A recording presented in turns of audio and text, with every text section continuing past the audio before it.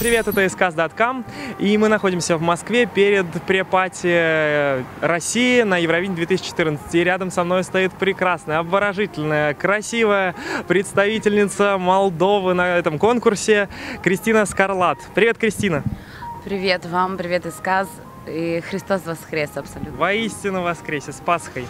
Расскажи, как у тебя проходит процесс подготовки к конкурсу, какие изменения у тебя, удалось ли прорепетировать номер?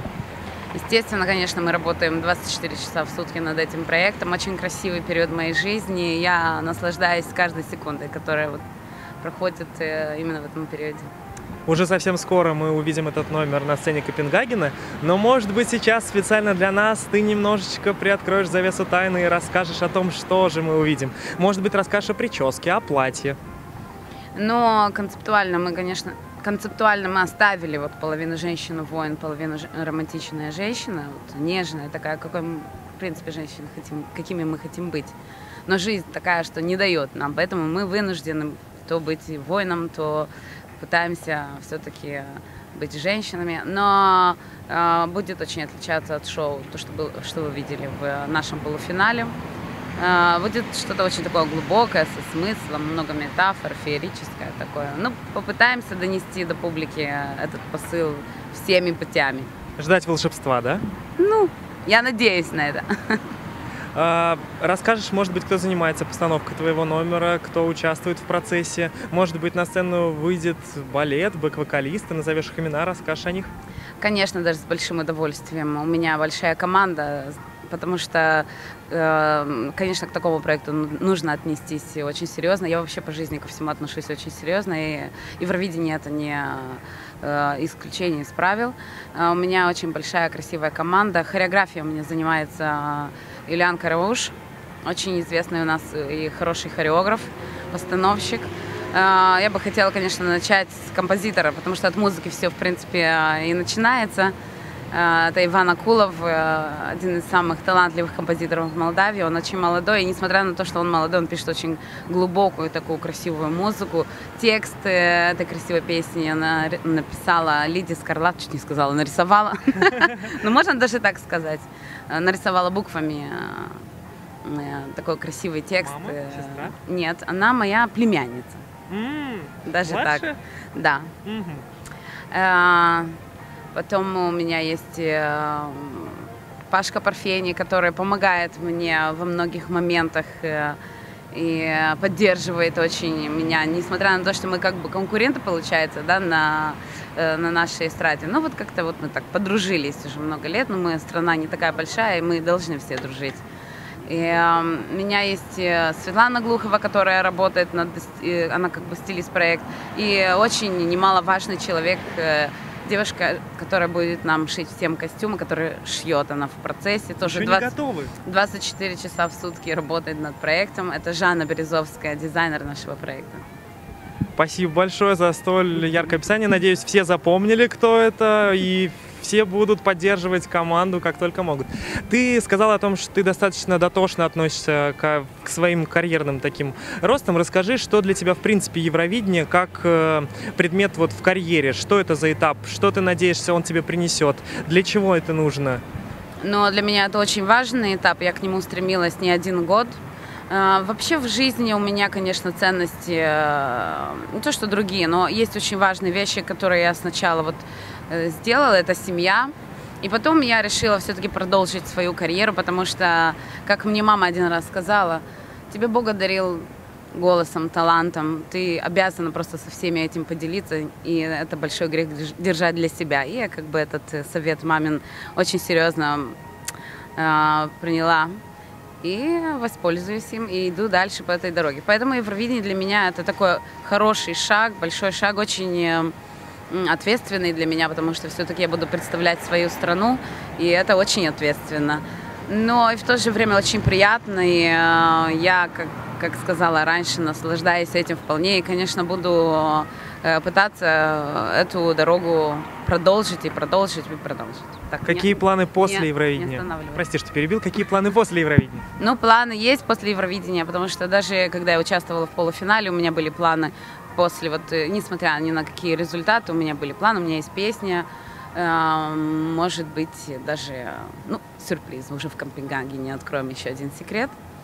Э, есть песни, есть проекты, которые, я надеюсь, они продолжат вот этот вот красивый период, в котором я сейчас нахожусь. Мы тоже на это все вместе надеемся. Я думаю, что график достаточно насыщенный. Вот сегодня в Москве, завтра, наверное, снова Молдова. А, удается ли отдохнуть? Если удается отдохнуть, то как? Но отдохнуть не очень удается, но как бы и не хочется отдыхать, хочется все-таки э, побольше находиться в таком режиме, потому что это к чему я стремилась, то, что мне хотелось, то, что я себе желала, вот и моя мечта исполняется по чуть-чуть. Поэтому отдыхаю, это когда я работаю над проектом, это и работа, и отдых, все вместе. А, наверное, достаточно, ну, перед Евровидением, поскольку такой конкурс серьезный, а, в какой-то график э, был режим полностью приведен, да, наверное, отказываешься от какой-то еды вкусной, которую очень любишь, или, может быть, э, от каких-то физических нагрузок, чтобы голос не повредить. Чего больше всего хочется, чего прям не хватает? Ну, конечно, я думаю, что это не секрет, не хватает чуть-чуть сна, потому что сон это самое важное, для голоса особенно. Ну, я как-то уже привыкла к этому режиму, и оно даже это мне не мешает. И очень важно, что ты внутри, в душе чувствуешь. Тут у меня полная гармония, и я думаю, что это, наверное, самое важное, что должен... Эм, самое важное состояние, которое должно быть у певца.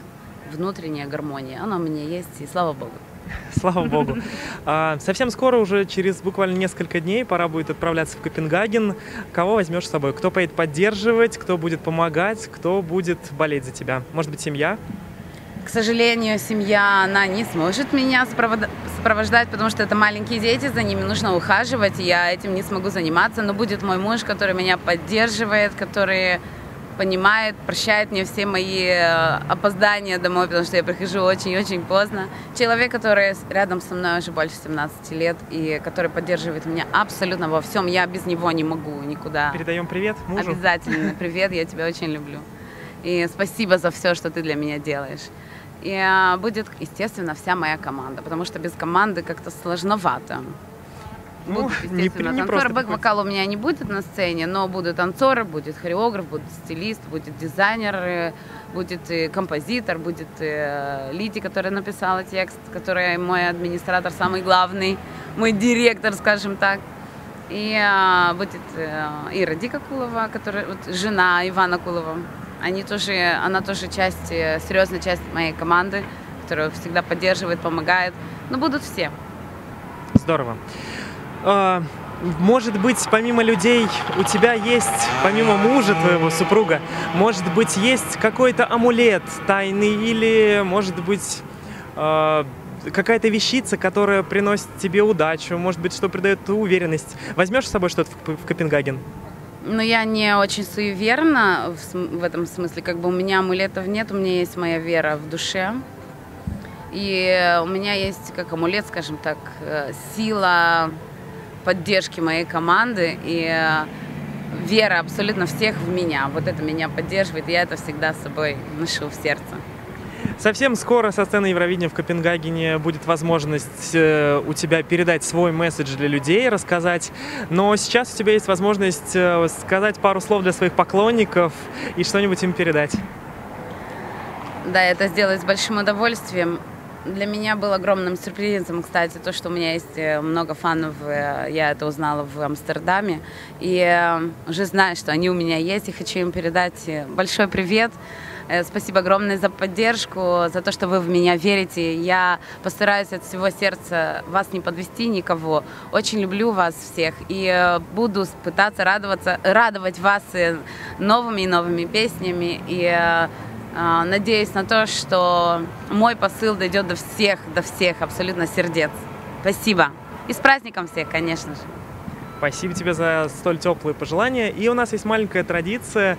Всех участников уже очень много-много лет мы в каждом интервью просим спеть маленький кусочек его песни акапельно. Исполнишь для нас? Конечно, с большим удовольствием.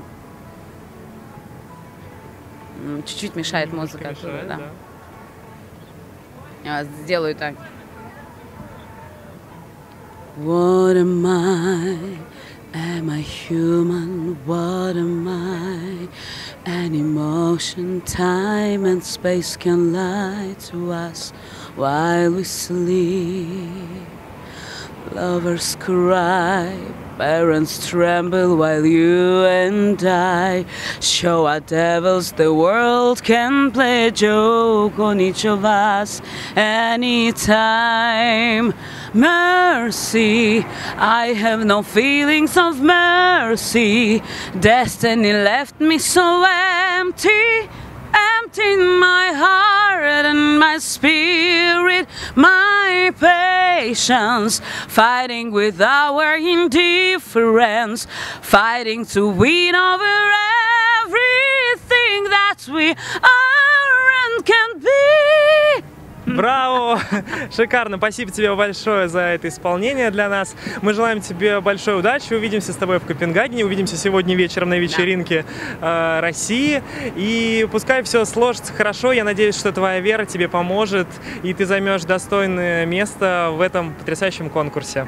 Спасибо огромное, дай бог, и спасибо вам за интервью. Очень приятно всегда с вами общаться. Надеюсь, это не, не последние моменты на, в моей жизни, когда мы с вами еще встретимся. Я спасибо. тоже на это надеюсь. Большое спасибо. Это был skaz.com, Илья Кремер, Иван Смедович, Михаил Кесарев, Энди Михеев, skaz.com. Пока-пока.